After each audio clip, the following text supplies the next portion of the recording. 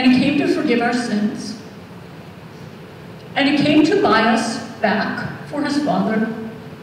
And he came to break the power of sin and death and hell.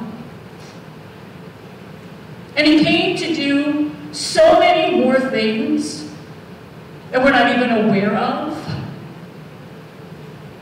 But he also came, right?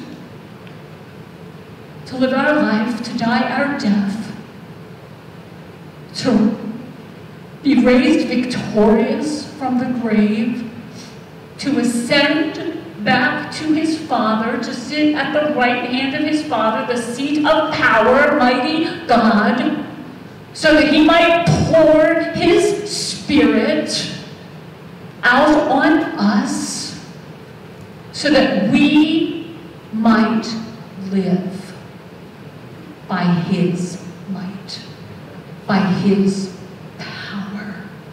We've talked about this a lot, but I think we need to keep talking about it. That the life Jesus lived in the flesh in complete dependence on his Father, he now lives in us by his Holy Spirit. Which means the child, right, who is born to us, the son who is the one whom the government is upon his shoulders, the one whose name shall be called Wonderful Counselor, Mighty God, Everlasting Father, Prince of Peace, lives in us. Stop for a minute and tremble.